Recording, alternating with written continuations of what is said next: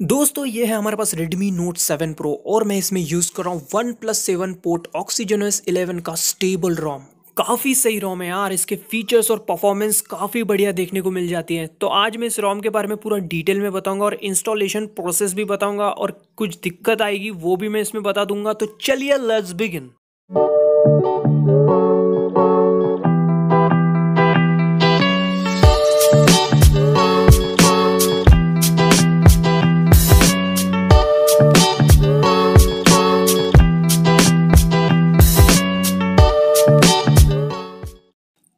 बात करें रोम की तो काफ़ी सही रोम है, मस्त चलता है बिल्कुल, और यहाँ पर आपको इंटरफेस भी काफ़ी सही देखने को मिल जाता है। और बात करें सेटिंग्स की तो इसमें सभी फीचर्स जो है बिल्कुल वर्किंग कंडीशन में देखने को मिलती है, दिक्कत वाली बात नहीं आती है इस रोम में। बात करें फीचर्स की तो काफ़ी बढ़िया फीचर्स मिल जाएँगी। तो यहाँ पे सबसे पहले डिस्प्ले में चलते हैं, यहाँ पे आपको बहुत सारे ऑप्शन देखने को मिलेंगे। एडवांस में चलते हैं, यहाँ पे स्क्रीन कैलिब्रेशन नेचुरल वगैरह सेट कर सकते हो नॉच वगैरह डिफरेंट टाइप सेट कर सकते हो, ठीक है, दो टाइप है।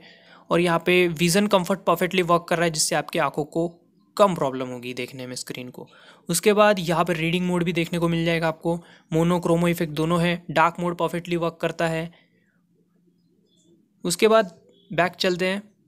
यहाँ पे वाइब्रेंट कलर इफ़ेक्ट भी परफेक्टली वर्क करता है। उसके बाद एम्बियंट डिस्प्ले भी मिल जाता है, इसको ऑन मत करो, बैटरी थोड़ा ड्रेन हो जाएगा। उसके बाद यहाँ पे जो स्टेटस बार में चले तो यहाँ पे बैटरी परसेंटेज वगैरह शो करवा सकते हो, सर्कल पोर्ट्रेट दिखा सकते हो, बैटरी स्टाइल, ठीक है, आइकन मैनेजर वगैरह है, नेटवर्क स्पीड भी दिखा सकते हो। ऑटो रोटेशन काम करता है, लेकिन यहाँ नहीं, किसी मतलब और अप्लीकेशन में, जैसे कि गैलरी में वगैरह। उसके बाद कस्टमाइजेशन की बात करें तो यहाँ पे एंशियंट कलर सेट कर सकते हो, बहुत सारे ऑप्शन है। ठीक है सिस्टम आइकन सेट कर सकते हो डिफरेंट टाइप के आइकन पैक यहाँ पे दिए गए हैं, आप अलग अलग सेट कर सकते हो। फॉन्ट वगैरह आपको दो टाइप मिल जाते हैं।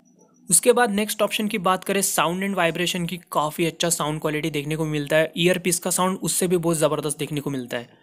उसके बाद बटन्स एंड गेस्चर में जाए और यहाँ पे नेविगेशन बार एंड गेस्चर में जाए तो यहाँ पे नेविगेशन बटन स्वाइप वगैरह कर सकते हो एक्शन वगैरह सेट कर सकते हो उन बटन्स का। ठीक है गेस्चर भी यूज़ कर सकते हो, जैसे कि मैंने स्क्रीन ऑफ़ के लिए एक एक्शन सेट किया था परफेक्ट वर्क कर रहा है। क्विक गेस्चर में अगर जाओगे तो यहाँ पे जो थ्री फिंगर स्क्रीन शॉट है, बिल्कुल परफेक्टली वर्क करता है। उसके बाद रेस टू आंसर जो है स्विच ये वाला ऑप्शन भी बहुत सही है मतलब जब भी फ़ोन आता है, अपने कान के पास लगाओ, बिल्कुल आपका फ़ोन उठा लेता है। उसके बाद डबल टैप टू वेक जो है, वो बिल्कुल परफेक्टली वर्क करता है। बैक चलते हैं, उसके बाद नेक्स्ट ऑप्शन की बात करते हैं। तो ऐप्स एंड नोटिफिकेशन ये तो है ही वैसे। उस हाँ अभी सिक्योरिटी एंड लॉक स्क्रीन की बात करें तो यहाँ पे फिंगरप्रिंट अनलॉक और फेस अनलॉक बहुत बढ़िया काम करता है। फेस अनलॉक काफ़ी फास्ट देखने को मिला है इसमें। बैटरी की बात करें तो ठीक ठाक है बैटरी बैकअप मीडियम देखने को मिलेगा। ठीक है? और छोटा सा, हल्का सा हीटिंग का इशू देखने को मिलेगा, ठीक है? ज़्यादा नहीं, हल्का सा। और यहाँ पे ऑप्टिमाइज्ड चार्जिंग का ऑप्शन देखने को मिलता है। मैंने इसको इनेबल करके रखा है, जो कि काफ़ी बढ़िया काम करता है। यूटिलिटीज़ में आपको पैरल ऐप्स का सपोर्ट देखने को मिलेगा ऐप लॉकर का भी सपोर्ट देखने को मिलेगा। यहाँ पे अपना phone turn off turn on का जो है टाइमिंग सेट कर सकते हो। सिस्टम की बात करें तो यहाँ उतना कुछ खास नहीं है। अबाउट फ़ोन की बात करें तो इस तरह का इंटरफेस है कुछ कुछ चीज़ें रॉन्ग लिखी है यहाँ पर। उसके बाद एंड्रॉयड इलेवन पर रन कर रहा है हमारा फ़ोन और यहाँ पर आपको हाइड्रा प्लस का कर्नल देखने को मिल जाता है, जो कि काफ़ी अच्छा कर्नल है। बैक चलते हैं और यहाँ पे कुछ और चीज़ें भी चेकआउट कर लेते हैं। तो यहाँ पे जी कैम परफेक्टली वर्क करता है, दिक्कत बिल्कुल नहीं देता है। और लेकिन यहाँ पे ए कैमरा दिक्कत दे रहा है यार मतलब ए कैमरा ओपन ही नहीं हो रहा। ओपन हो रहा है तो कुछ भी दिख नहीं दे रहा है ब्लैक ब्लैक है। सिलिलिनक्स परमिसिव है, ठीक है। सेफ्टी नेट जो है वो भी चेकआउट कर देता हूँ। सेफ्टी नेट डिफ़ॉल्ट आपका पास है और रूट करने के बाद भी पास है। परफॉर्मेंस वगैरह काफ़ी अच्छा देखने को मिल जाता है। अब बात करते हैं कुछ दिक्कतों की। तो सबसे पहले, पहला प्रॉब्लम आता है आपका एनएक्स कैमरा वर्क नहीं करता है। दूसरा प्रॉब्लम ये है कि आपका, आप एसडी कार्ड को एक्सेस नहीं कर पाओगे अदर फ़ाइल मैनेजर से। लेकिन आपका वन प्लस का जो फ़ाइल मैनेजर है, उससे आप इसको एक्सेस कर पाओगे, जो कि सिस्टम के साथ, जो कि डिफ़ॉल्ट आया उसके साथ। बस इतने ही प्रॉब्लम्स हैं, बाकी कुछ नहीं है। अब आते हैं इंस्टॉलेशन प्रोसेस पे। सबसे पहले अपने फ़ोन को कस्टम रिकवरी में बूट करना है। कस्टम रिकवरी कैसे इंस्टॉल करते हैं? इस रिगार्डिंग ऑलरेडी वीडियो बना रखा है। वाइप पे जाइए। Dalvik cache system vendor data को सिलेक्ट कीजिए। उसके बाद स्वाइप कर दीजिए।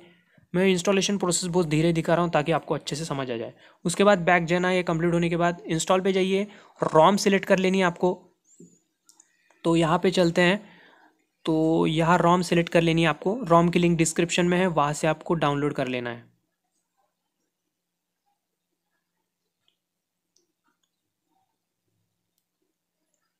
तो ये रहा रॉम हमारा one plus seven OxygenOS eleven stable violet इसको सिलेक्ट करना है सिंपली ठीक है? उसको सिलेक्ट करने के बाद सिंपली एडमोर जिप पे क्लिक करना है। उसके बाद आपको यहाँ पर जो है डी एफ़ ई को सिलेक्ट कर लेना है और सिंपली स्वाइप पे कर देना है। तो ये दोनों चीज़ें फ्लैश हो जाएगी। ऑफकोर्स मैं जो डिक्रिप्शन में है मेरा फ़ोन क्योंकि मेरा इंटरनल स्टोरेज मुझे वाइप नहीं करना है, मेरा डाटा उसमें है। सो मैं डिक्रिप्शन की फ़ाइल जो डी एफ़ ई है उसको फ्लैश कर रहा हूँ। ठीक है? उसके बाद सिंपली ये जैसे ही फ्लैशिंग कंप्लीट हो जाएगा, इसके बाद आपको रीबूट सिस्टम का ऑप्शन दिखेगा, उस पर सिंपली आपको क्लिक कर देना है। तो जैसे आप देख रहे हो रीबूट सिस्टम का ऑप्शन आ चुका है। सभी सक्सेसफुल इंस्टॉल हुए कि नहीं, सभी देख लेना है तो सक्सेसफुल लिखा है। रीबूट सिस्टम पे क्लिक कर देना है। थोड़ी ही देर में आपका फ़ोन जो है चालू हो जाएगा। ठीक है, थोड़ा टाइम लगेगा वेट करो, फिर चालू हो जाएगा। चैनल पे नया हो तो चैनल को सब्सक्राइब कर लो। एक बार प्लेलिस्ट चेकआउट कर लो। काफ़ी इंटरेस्टिंग वीडियोस बना रखी है, आपको पसंद आएँगी।